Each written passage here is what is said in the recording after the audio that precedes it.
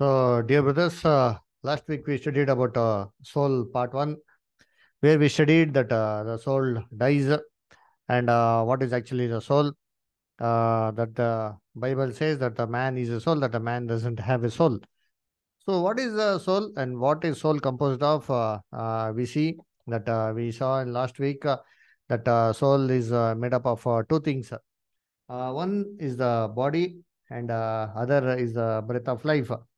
So that uh, breath of life uh, is actually uh, actually translated from that word uh, spirit uh, uh, in the Bible. So if you see the two things that are required for a man to live, for a soul to exist, for a soul to, for a soul to live, is a body plus a breath of life. So last week we saw that Hebrew and the Greek name for the soul and the breath of life. And now, what is the meaning of the soul? It is actually a sentient being, a being which is having feelings, and uh, uh, the breath of life uh, is uh, actually the invisible power which comes from God. So, if you see, if it is oxygen, it is not oxygen because oxygen only has uh, this is the chemical compound in it, but it doesn't have the right to live, which only comes from God. And uh, uh, today we'll continue this one to second part.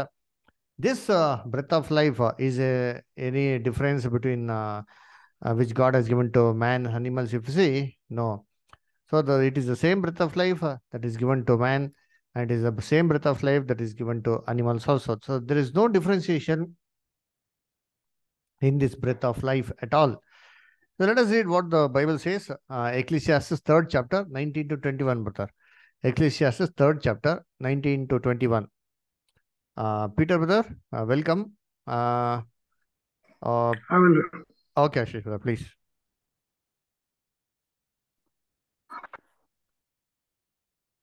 For that which befalleth the sons of men befalleth beasts. Even one thing befalleth them, as the one dieth, so dieth the other. Yea, they have all one bread, so that a man hath no preeminence over a beast.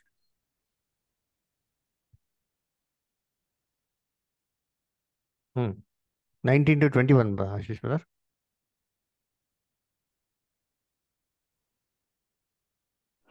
For all his place, all turn to the game. Who knoweth the spirit of a man that goeth up? Okay. Who knoweth the spirit of man that goeth upward, and the spirit of the beast They that goeth downward to the. Okay, thank you, brother. So if you see, this verse clearly says the wisest of all men. Solomon says that uh, you see, uh, the one uh, befalleth the man, the same befalleth the beast. And there is one thing. Uh, so, so as one dieth, so dieth the other, and uh, there is no differentiation at all. So everybody has got only one breath. So the breath, the breath of life is the same that God has given to man. It is the same that is given to human beings also. So then, if you see, what is the difference between man and animal? If you see, it is on the body organism. You see, man uh, compared to all the animals uh, is very not so huge and gigantic. uh, huh? But if you see, there are various big, big uh, and uh, gigantic, uh, you see, animals. But compared to their body, their brain capacity is very, very, very small. But if you see in man, the one eighth of his body weight is his brain. So the differentiation between man and animal is actually is based upon the body organism and the brain, uh, you see, capacity. Therefore, if you see, uh, though the animals are very big uh, and very gigantic compared to uh, man, their brains are very minute and very limited. Therefore, you see, hmm, man can do so many things. He can speak, he can uh, type, he can travel, he can compute, he can go to a bank and withdraw money, he can eat food, cook food. you see, he can drive the vehicles, he can operate the computer, he can teach others. So, all these things uh, man can do. But what about animals? uh? How many animals uh, got uh, limitations? Like, for example, we can, uh, you see, tell animals to dress, to be neat, to be clean. But uh, uh, can we tell them to stitch their own clothes? And uh, you see, and uh, select their own clothes uh, and wash it uh, and wear it themselves? No, they can't do it. uh, That is the limitation. See, we can tell a monkey to operate the computer. Just open it and close it on it. That's all. But we can't tell a monkey to create a software.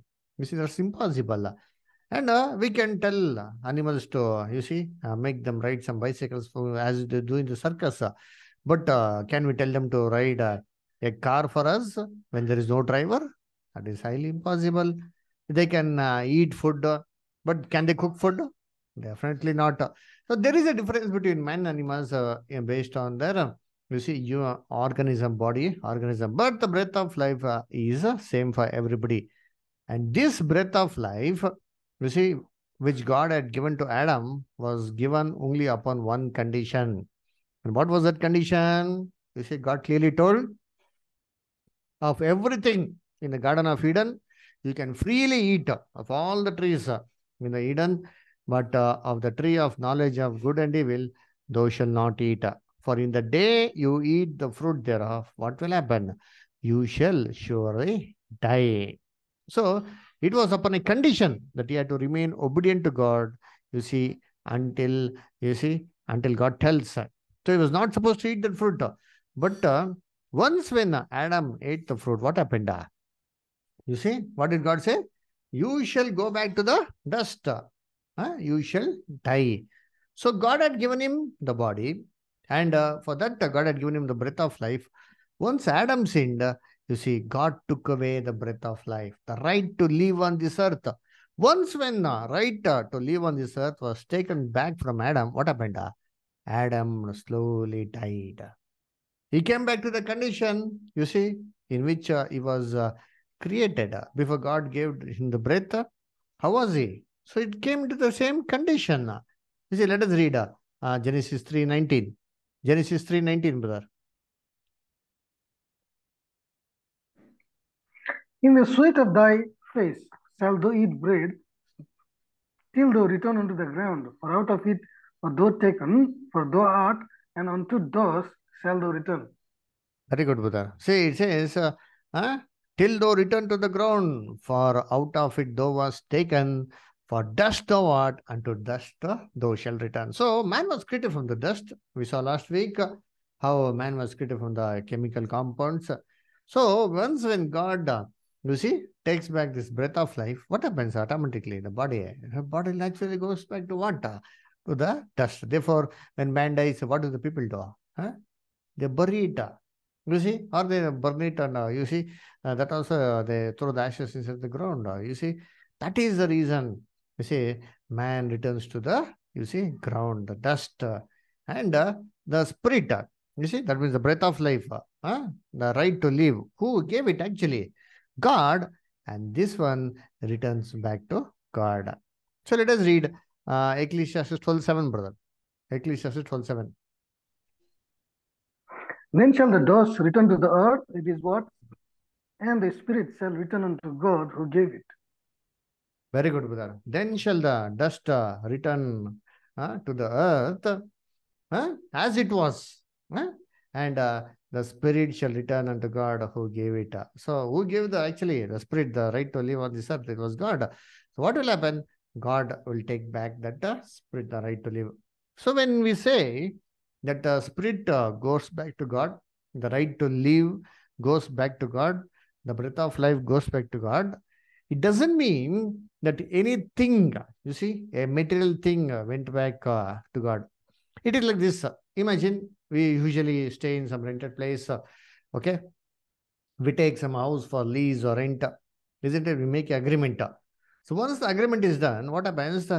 Naturally, the right to live in that house goes from the owner to the tenant.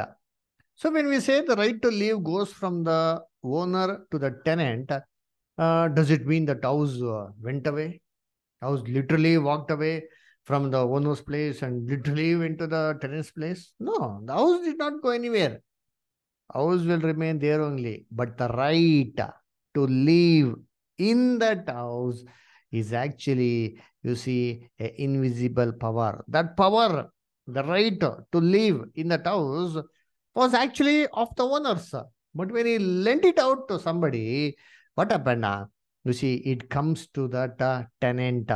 But imagine, you see, once the tenant uh, period is over, you see, though the tenant is staying there, uh, even in that house only, even after the lease period is over, what actually happens? Uh, see, naturally, that power, the right to live in that house goes back to the owner. When we say that uh, it goes goes back to the owner, does it mean that uh, you see any material traveled? No, everything is the same. The house will remain the same. The house will be there only. The owner will be there. The tenant will be there. But the right to live in that house goes back to the original owner. This is the same way, dear brethren. When God gave that uh, spirit, uh, the breath of life to Adam, you see, and God, when He took it, what happens? Uh, naturally, you see, the right to live went back to God. Doesn't mean that something, any, you see, huh, uh, something uh, which is uh, immaterial uh, went back to God. It is the power, the invisible power, you see, that God gave to Adam. And that invisible power, you see, the right to live, you see, God took it away. See, let us see the beautiful, example. You remember, no? When Jesus died on the cross. What did Jesus say? At last, he said, no, Father, into thy hands I commend my spirit. Isn't it? So, yeah, then what did Jesus do? Jesus died on the cross. Isn't it? So let us read. It's beautifully given. Luke 23 46, brother. Luke 23 46, brother. When Jesus had cried with a loud voice, he said, Father, into thy hands I commend my spirit. And having said thus, he gave the ghost. Ah, you see, Father, into thy hands I commend my spirit. You see, what did he surrender to God? The spirit, the breath of life, because Jesus was sinless. Okay, so he could not die at all. So if he has to die, he has to die voluntarily. He has to sacrifice his life. He has to lay down it uh, to God. That's what Jesus did. uh. Jesus, when he was on earth, he clearly said that I, nobody has right on my life. I laid down voluntarily to do God's will. so let us read John 10 chapter, brother. 17 and 18, brother. John 10, 17, 18, brother. Therefore doeth my Father love me, because I lay down my life, that I might take it again. No man take it from me, but I lay it down of myself. I have power to lay it down, and I have power to take it again. This commandment have I received of my Father. See, I have got power. I have got power to lay it down. I got power to take it up. You see? So that power was invisible. It's not a thing that we can see. You see, some people, they say, no, the police officer will tell, I don't know how much power I have. Uh, the prime minister will tell, you don't know how much power I have. What is that power? Can we see? Is it strength? Is it might? No. That is the power, the invisible thing. You see, dear brethren, this is what Jesus, uh, you see, uh, laid down to God. He had that uh, power which God had given to him to live on this earth. You see, he could have lived forever and ever, but he sacrificed it uh, to do Lord's will. uh, uh, therefore, you see, Jesus gave up uh, that uh, right to live on this earth, and that was an invisible thing. You also remember, you see, Stephen, well, Stephen who died now. Stephen was, you see, uh, beaten and uh, he was stoned to death. uh. What did Stephen do? Let us read. Acts 7.59, brother. Acts of the Apostles, 7 chapter, 59th verse, brother. And they stoned Stephen, calling upon God and saying, Lord Jesus, receive my spirit. Uh-huh. You see, he calling upon God and saying, Lord Jesus, receive my spirit. Did you say, Lord Jesus, receive my soul? No, hmm, he did not mention soul because he did not have any soul. He himself is a soul. So what did he say? Lord Jesus, receive my spirit. Receive my breath of life. Receive the right which you gave to me to live on this earth. Take it back. So he surrendered his life, isn't it, dear brethren? Therefore, uh, in uh, Solomon, you see, in Ecclesiastes declared as nobody has this right to retain this uh, breath uh, on the day of death, isn't it? See, whenever a doctor, uh, uh, you see, uh, gives pumps in oxygen, can a man live? No, why? Because that is just only oxygen, but not the breath of life. Read Ecclesiastes 8, chapter 8, verse further. Ecclesiastes 8, 8, brother. There is no man that hath power over the spirit to retain the spirit, neither hath he power in the day of death, and there is no discharge in that war, neither shall wickedness deliver those that are given to it. You see, there is no man that has power over the spirit. To retain the spirit, uh, you see, to retain the breath of life uh, uh, in the day of death. uh, you see, he has no power. Nobody can restrain him. You see, even the doctors, they can give treatment. you see, they can pump in oxygen, but they can't pump in the breath of life. Why?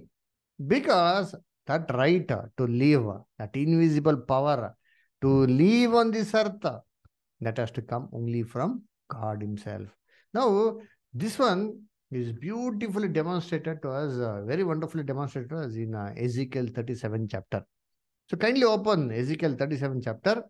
See, in Ezekiel 37 chapter, uh, Ezekiel was shown a vision. You see? Ezekiel uh, was uh, taken to the valley of dry bones. You see, where uh, he saw so many bones which are lying, which was dead and it was dry. God asked him, Ezekiel, do you think these bones will live? Ezekiel tells, uh, Lord, you only know it. Then it tells, okay, prophesy to the winds, uh, prophesy to the winds. Uh, so, as uh, God had commanded, Ezekiel prophesied to the four winds that uh, it may blow on this, uh, you see, the dead bones. So, as Ezekiel prophesied, you know what happened? You see, the wind came from four directions. You see, and uh, it blew upon that, uh, you see, dead bones. uh. So, once it blew, you know what happened? The bones began to join one together. All the bones began to join one together.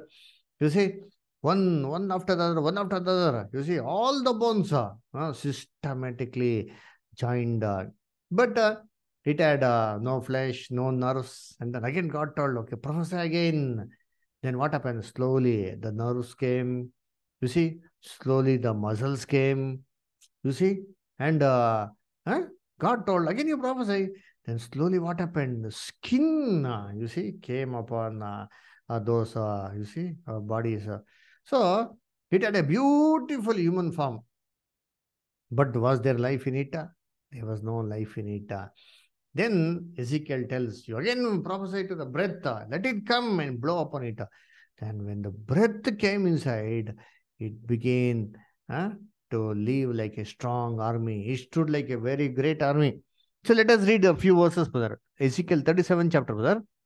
Ezekiel 37 uh, chapter, uh, verse 1 and 2 and 3, brother. Huh. Okay. The hand of the Lord was upon me and carried me out in the spirit of the Lord and set me down in the midst of the valley, which was full of bones, and caused me to pass by them round about. And behold, there were very many in the open valley, and lo, they were very dry. And he said to me, said unto me, Son of man, can these bones live? Hmm. And I answered, O Lord God, thou knowest. Hmm. He said, Can these bones live? But Lord, you only know it. Then see what happens. Verse 7, brother. Huh? So I prophesied as I was commanded, and I, as I prophesied, there was a noise, and behold, a shaking, and the bones came together, bone to his bone. Hmm. See, Ezekiel was told to prophesy. As soon as he prophesied, what happened? Bones began to join to bones. Now, verse 8, brother. Huh? And when I beheld, lo, the sinews and the flesh came upon them, and the skin covered them above, but there was no breath in them. Ah, you see, as he proposes, what happens? The sinews, the flesh, the skin covered, but what was not there? The breath was not there at all. You see, it doesn't say the soul was not there. What was not there? See, body is there. Same way Adam was created. you. See, huh? what was there? Body is there. You see, but clearly how body was formed is clearly given there. But what was not there? Breath. It doesn't say the soul was not there. Breath, the breath was not there at all. So, next what happened? Huh? God commanded the breath. You see, verse 10, brother. Huh? So I prophesied as he commanded me, and the breath came into them, Hmm. and they lived and stood up upon their feet, an exceeding great army.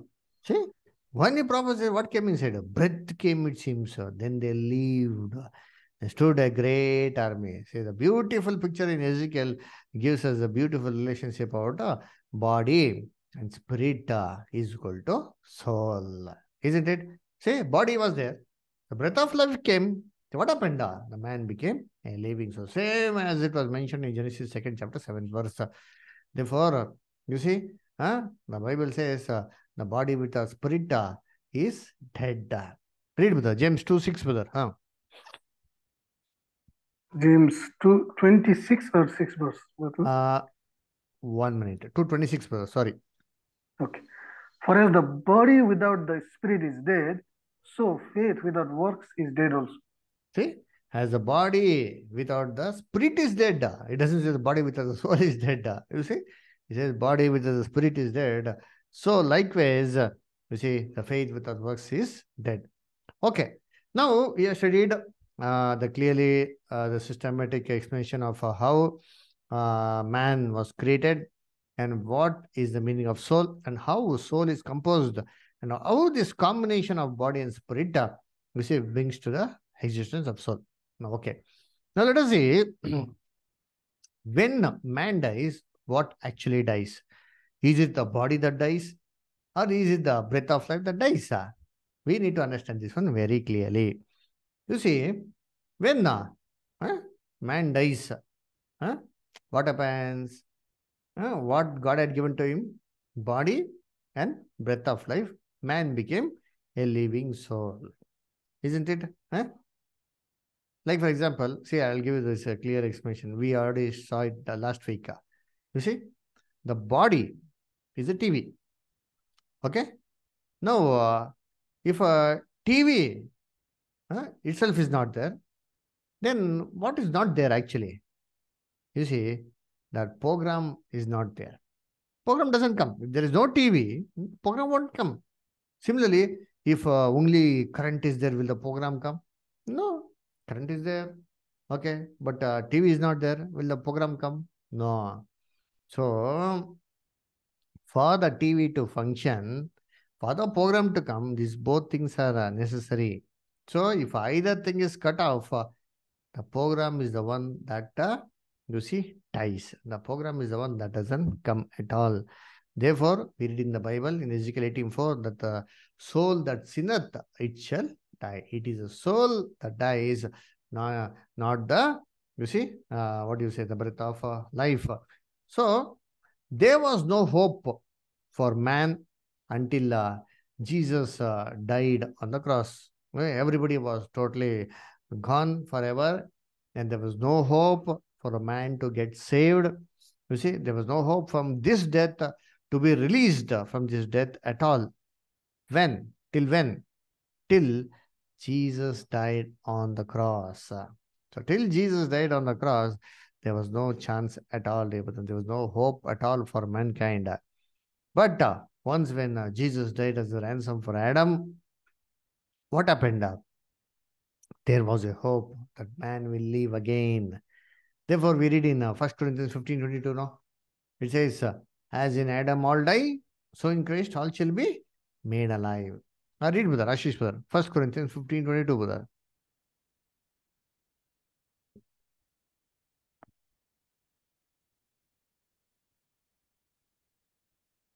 Okay, so for as in Adam all die, even so in Christ shall all be made alive. 1 Corinthians 15 22. So, by the death of Jesus, uh, a resurrection is guaranteed for each and every mankind uh, on this earth. So, everybody will be resurrected back uh, and come back to life on this earth. Therefore, this death, what man is actually dying, is actually compared to sleep in the Bible. You see, why is sleep in the Bible? Because if somebody goes to sleep, yeah, it is a surety. It will sure happen that he will come back to, uh, you see, he'll wake up in the morning. That's for sure. Okay. If somebody goes to sleep, eh, it is a guarantee that they will uh, wake up in the morning, isn't it? If somebody goes to sleep in your house, how will you make them sleep? Uh, will you weep, cry? Oh, yo, you're going for sleep. Yo, you're gone forever. Yo, you're going. Will we say that one? No. What will we say? Sleep fast, sleep fast. You need to uh, wake up early in the morning. Sleep. Don't make any sound. Huh? Sleep calmly. Huh? That's what we speak now. Why? Because we have confidence that if he enters sleep, surely he will come up in the morning. Uh-huh. It is the same way with the death. The last thought, uh, the last thought when he slept was the first thought will be uh, when he wakes up in the morning. Therefore, this death is also compared to, you see, coma. If somebody goes to coma, uh, will they know anything? They don't know anything. Uh, you see, they will be in a coma. Only the last thought will be there in the mind. Nothing will happen. You see, what all is going around? They have no idea at all. You see, uh, until they come back from coma, uh, that will be the first thought. Therefore, this death in the Bible is compared to sleep. Each and every death condition is compared to sleep in the Bible. Therefore, uh, uh, whenever somebody dies now, in the Christians especially, they put on the grave, know, uh, R.I.P. R.I.P. means what? Rest in peace. Rest in peace is not. Uh, you died, so please rest. So that is actually the resting place, the, the, the death condition. You see, that itself is the grave. That itself is a resting place where every dead are sleeping nicely. When? How? Till Jesus' second coming, they are sleeping nicely. Read Isaiah 57 chapter 1 and 2, brother. Isaiah 57, 1 and 2, brother. The righteous perisheth, and no man layeth it to the earth, and merciful men are taken away, none considering that the righteous is taken away from the evil to come, they shall enter into peace. They shall rest in their beds, each one walking in his uprightness. Very good, brother. See, the righteous perish, and no one it into his heart. Ah, you see, they're all sleeping. Ah, you see, in the west. They're all resting in their beds. They're all entered into their peace. Rest in peace. This is what the Bible says. They picked up this uh, RIP from this verse only. They're all sleeping nicely, dear brethren. Uh, therefore, you see, there are so many verses in the Bible. Like, for example, we just now saw Stephen died. Huh? You know what, uh, what happened to Stephen after his death? Where did he go? Did he go to heaven? Let us read. Acts 7.60. Acts of the Apostles, 7 chapter, verse 60. Brother. Uh. And he kneeled down and cried with a loud voice, Lord, lay not this sin to their charge. And when he had said this, he fell asleep. You see, when he had said this, he doesn't say that uh, he went to heaven. He says he fell asleep. Fell asleep is what? Uh, he will again come back to life. When? At the Lord's second coming. Read one more verse, brother. Acts 13 36, brother. Uh. For David, after he had served his own generation by the will of God, fell on sleep and was led unto his father and saw corruption. Hmm. You see, what did happen to David? Uh? Huh? When David uh, had served the Lord, uh, huh? after doing the will of God, he fell asleep. You see, the Bible clearly says that David fell asleep. But David did not go to heaven. No, no, David did not go to heaven at all. See, Acts 2.34, brother. Read. Acts 2.34, brother.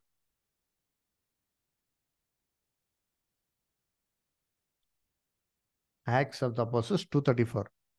Okay, brother.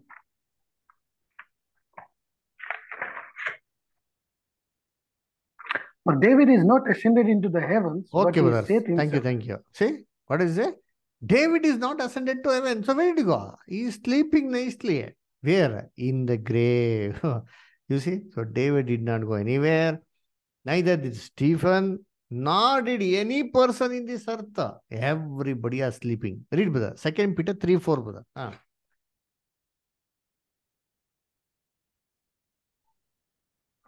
In saying, Where is the promise of his coming? For since the fathers fell asleep, all things continue as they were from the beginning of the creation. See, the fathers fell asleep. All the fathers in the Old Testament, all our forefathers, all your forefathers, let it be any religion, any caste, any belief, what are they doing? Ah, they all fell asleep. They're all sleeping nicely, dear brethren. You see, remember now, Lazarus, this is very beautifully given in the Bible. Lazarus was actually dead. Immediately they send the messages to Jesus saying, Please come, Lazarus is uh, not feeling well. Then uh, when they come to Jesus, uh, they tell, Lord, please come very fast. Your friend Lazarus is not feeling well.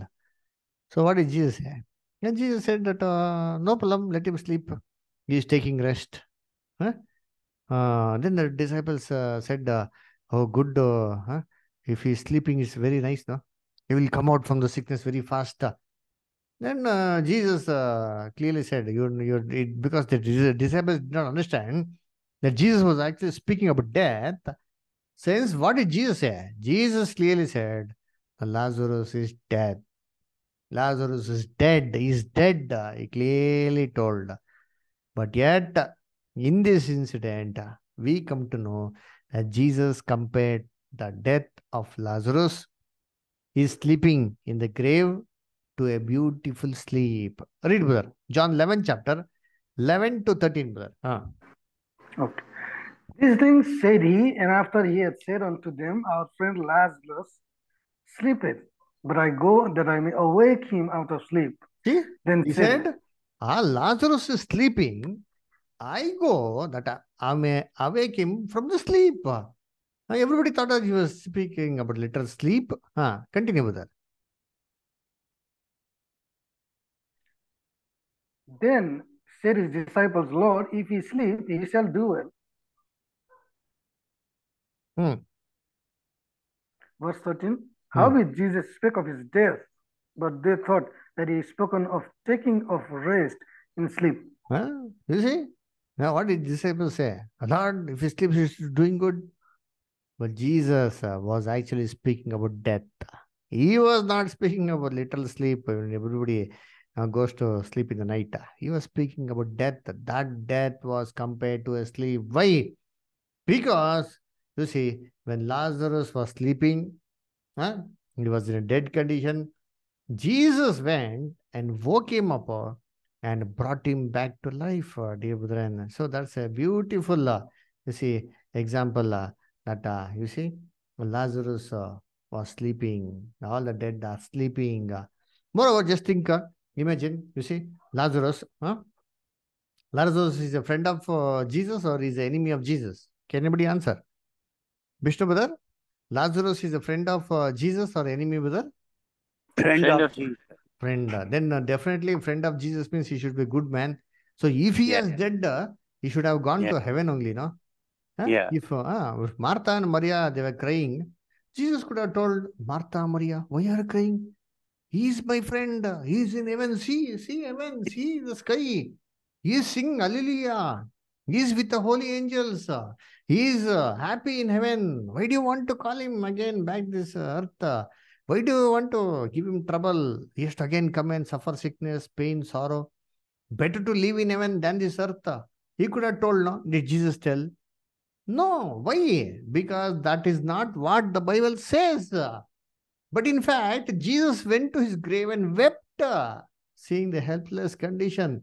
That clearly proves that Lazarus was not in heaven or hell. Okay, neither he was brought back from there. He was in a death condition. So Jesus wept. uh, huh? Why did Jesus weep? uh? Huh? You forgetting that he was in heaven. Huh? Uh, suddenly began to uh, make some fun and joke and uh, pour tears. Uh. Brethren, he knew that man was dead means he will be sleeping. Everybody will come back. That's what Jesus said. No, you don't know, Martha. I am the resurrection and the life. uh, Okay. If any man dies, he will come back to life. Do you have that faith? She told, Yes, Lord, I have that faith. I I know that everybody will come back to life in the last day. She had so much of faith. uh, You see? That is the, what the Bible says that dead will come back to life, dear brethren. That, that's what uh, Jesus did. uh. So Lazarus was sleeping in dead, uh, death condition. He was brought back to life.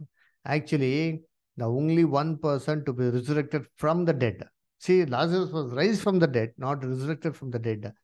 The only one person and the first and the last person to be resurrected from the dead is our Lord Jesus Christ. Read Colossians 1.18 with her. Colossians 1.18. And he is the head of the body, the church, who is the beginning, the firstborn from the dead, that in all things he might have the preeminence. See, the firstborn from the dead, uh, the first to be resurrected, actually resurrected, to be originally coming out from the dead is Jesus. Then what about the previous person? Huh? So many persons were, uh, what happened to them? Did they go to heaven or hell? Nobody has come from the dead. That's what the Bible says. You see, Bible cannot uh, make any simple, uh, you see, uh, quotations like this or simple statements. Neither can Jesus play some jokes with uh, his disciples. This is not a, a thing to make fun of. This is very serious matter. The Bible says that Jesus was the first to be raised from the dead means he is the first. So before this one, none have risen from the dead. Neither can anybody go to hell or heaven. So Jesus was the first person. What about the world? When will uh, other people come back to life? Uh, they will all come back to life only at the second coming of Jesus. Read First Thessalonians 4.16, brother. First Thessalonians 4.16. For the Lord himself shall descend from heaven with a shout, with the voice of the archangel, and with the trump of God, and the dead in Christ shall rise first. See, the Lord himself shall descend from heaven. Jesus' second coming. Aha. With the trump of God, he will return. Then, underline, and then only the dead in Christ shall rise first. First means first. So there is no people who will be raised before this one except Jesus. You see, the dead in Christ, the Christians are the one who will be raised to life first, dear brother. Now, has the second coming happened? Has Jesus uh, come already? Huh? Where are the dead risen? No, dear brethren. Uh, so all will come back to life when Jesus returns. Uh, Jesus said no. Huh? Read John 5 28, brother. John 5 28. What does Jesus say? Hmm.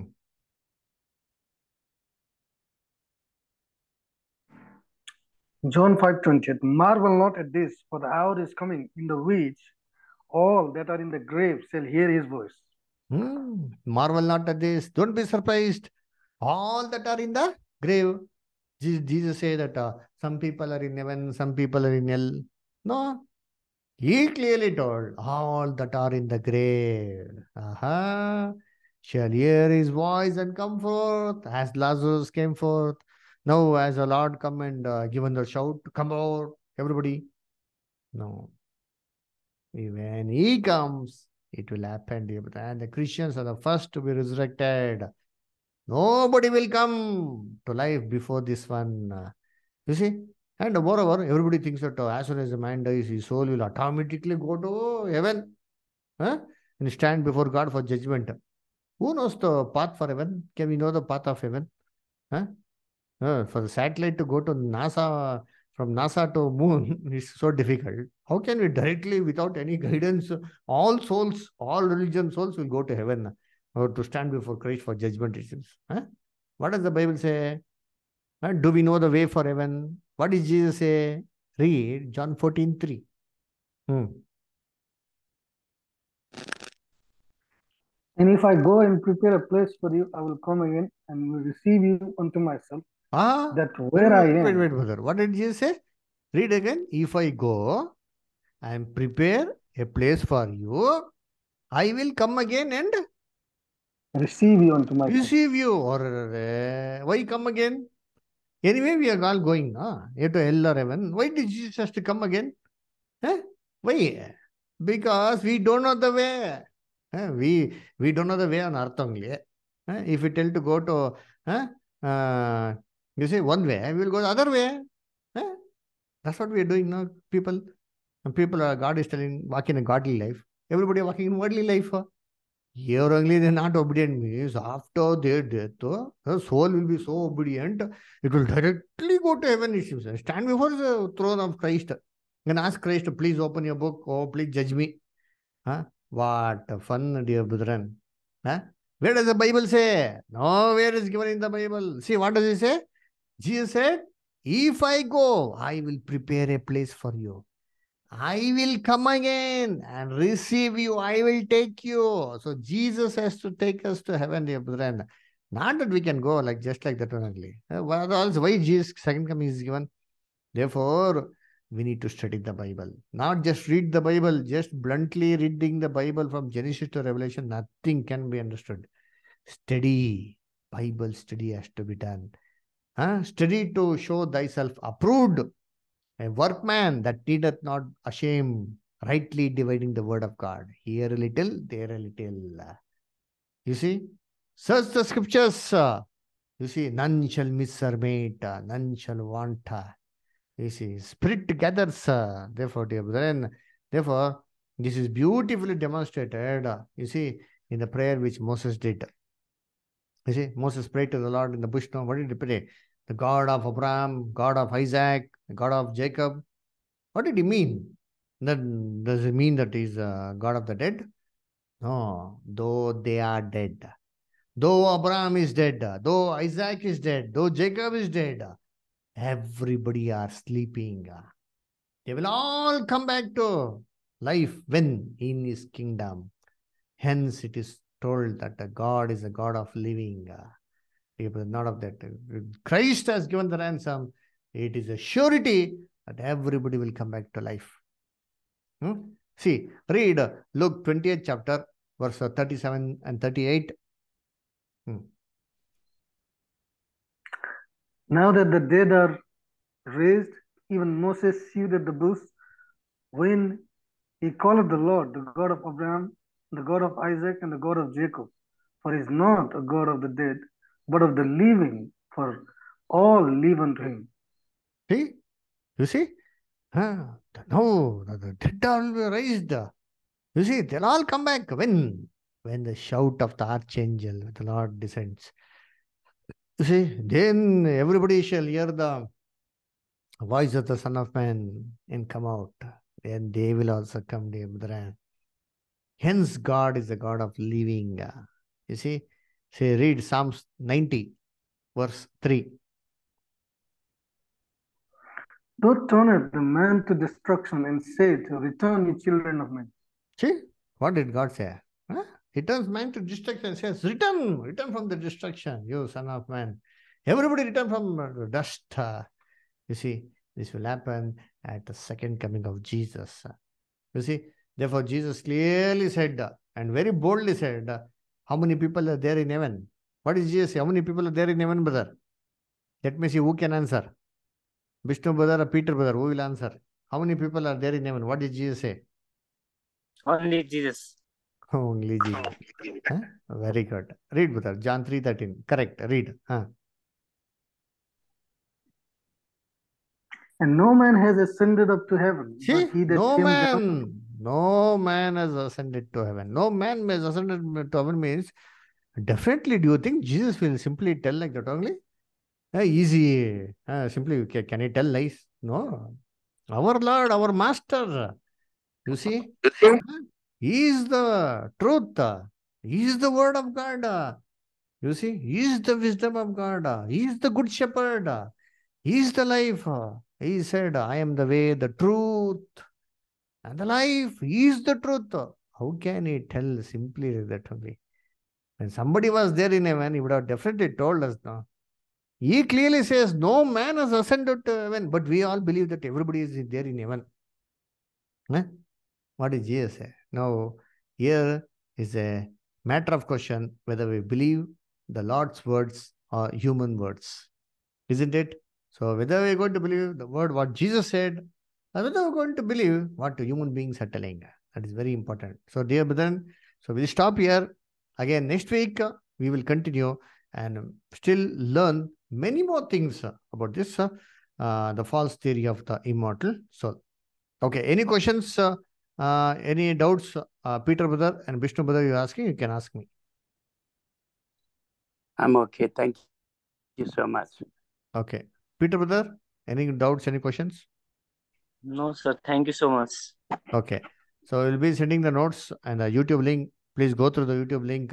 So please watch it again and again. If you have still any doubts, any questions, you can definitely ask. But Ashish is there to assist you in uh, your Nepali language. So uh, he will help you and he'll guide you and so many things you can clarify.